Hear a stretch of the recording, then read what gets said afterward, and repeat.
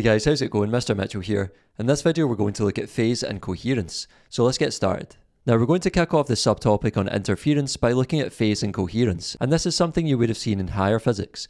So it starts by saying that interference occurs when coherent waves overlap. So what do we mean by coherent waves? Well, it says that waves are said to be coherent if they have the same frequency, wavelength and speed. And it says that if two waves are emitted from the same source, it is likely that they will have the same frequency, wavelength and speed and will therefore be coherent.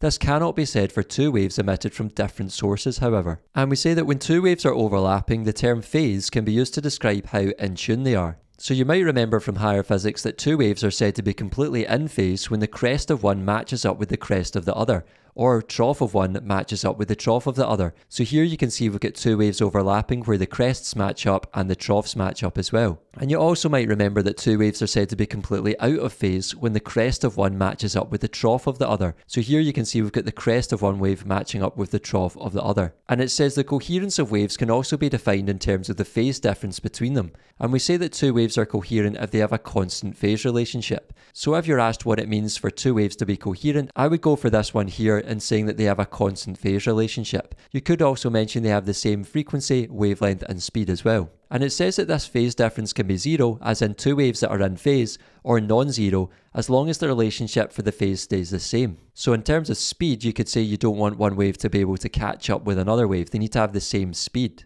And we don't want one wave to have a higher frequency than the other because that would cause the phase difference to change and therefore they wouldn't have a constant phase relationship. Now I'll just show you a quick simulation to help you visualize the interference of waves. Now we have a term for the addition of waves which is called superposition of waves. So you'll see here we have two boulders on cliff edges and we've got some water with a fish in the middle. So if I click play the two boulders drop into the water and we get two wave patterns produced. And you might have seen in the middle there we get this interference pattern where the two waves overlap with each other. So I'll just show you that again. So we have the adding together of two waves in the middle point here. Now notice how the two waves don't have the same amplitude because the two boulders are not the exact same size, so the two waves created are not going to have the same amplitude. And therefore we don't get complete what we call constructive interference or destructive interference occurring. So we get this bigger amplitude of this wave meeting with a slightly smaller one to create an even bigger amplitude.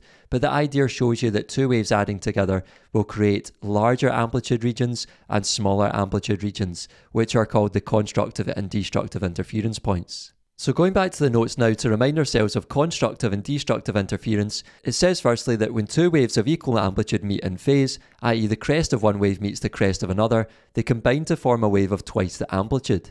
This is called constructive interference. And we can see from the picture here that the two individual waves add together to give a wave of higher energy or higher amplitude as shown here. So we've got what looks like two sine waves here adding together and you can see we've got crest meets crest, trough meets trough, crest meets crest and so on, and when they combine, they'll produce a higher amplitude wave. And here we have destructive interference, which says that when two waves of equal amplitude meet out of phase, i.e. the crest of one wave meets the trough of the other, they combine to form a wave of zero amplitude.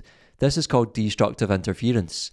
And if we look at the picture here, you can see that the two individual waves cancel out to give a wave of zero energy or zero amplitude. And that's what this straight line is showing you, zero amplitude for the wave there. And you can see the two waves overlapping. There's what looks like a sine wave and then a negative sine wave. So that will form our wave of zero amplitude. Lastly, it says to note that if the waves are not of equal amplitude, like in our simulation that we just saw, then complete cancelling out does not occur. And a good practical application of destructive interference is in noise cancelling headphones, just like the Bose headphones that I'm wearing here. Basically, the way these headphones work is that there's a little microphone in them that's listening out for background noise in the room that I'm in, and then what the headphones do is they'll send out the opposite wave pattern to what they're picking up from the microphone into my ears, so that these waves would destructively interfere within my headphones, and therefore I'll hear background noise with very little amplitude or no amplitude at all. And these headphones are very good for cancelling out that noise which means the waves might even be close to zero amplitude. And that's why they get their name of noise cancellation or noise cancelling headphones. And you get the same technology in wireless earphones and stuff now as well. Now I'll just show you a quick simulation of how you can form an interference pattern. So just a reminder that if you pass waves through a double slit pattern, you're going to get an interference pattern produced. So let's say we have a monochromatic light source like laser light, which is a coherent source in itself, then that means that these single waves will be coherent and that they'll pass through this double slit to form two coherent wave sources. So if we click play, we'll get our two coherent wave patterns produced and they start overlapping to produce this interference pattern. Now we can label on the diagram to show you the points of constructive and destructive interference. So if we get rid of that just for now, you can see where the waves completely overlap in phase, like directly in the middle here. We've then got another point where the waves completely overlap down here, and then we've got another point up here. So these would be what we call maxima or a maximum. So that is our points of constructive interference, remember. And we've also got the points of destructive interference, which is halfway in between those, where the crests of the waves meet the troughs of the waves. So that would be this point here, this point here, this point down here, and this point up here, which is just off the screen.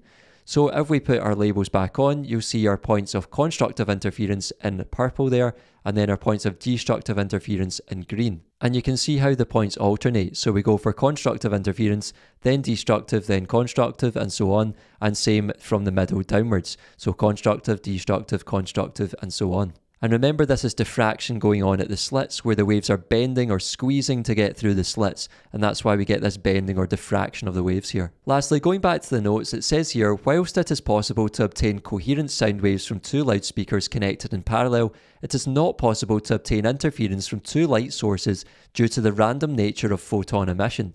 Other means of obtaining coherent light waves are used. So I just wanted to show you this picture here comparing sound and light sources. So it says two loudspeakers connected to the same signal generator can produce interference. So we say that these two sources of loudspeakers are coherent because they're connected to the same signal generator, and therefore they'll produce waves of the same frequency. However, over this side we have two identical sodium discharge lamps and it says these will not produce interference and that's because the release of photons from each lamp will be random. So regardless of whether they're connected to the same electrical supply, like the same power supply, we won't get an interference pattern from these two sources because they're not coherent, and therefore the waves produced will have a different frequency. Lastly, it says there are two ways to produce an interference pattern for light.